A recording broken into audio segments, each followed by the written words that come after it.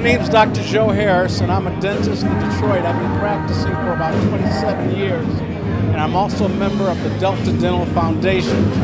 We're the philanthropic arm of the Delta Dental of Michigan Dental Plan.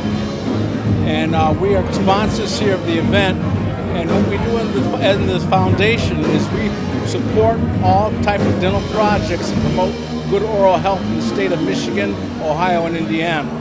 Well, as I said, we support all things that promote dental health, but also specifically we are really involved in needy populations such as the foster children.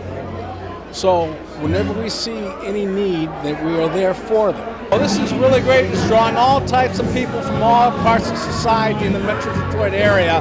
And I'm not the only one that's really cognizant of these problems. As you can see, people here are throwing the support, be it financial or just by being here and I've seen a great deal of progress in the philanthropic arm of the community in helping these dental problems.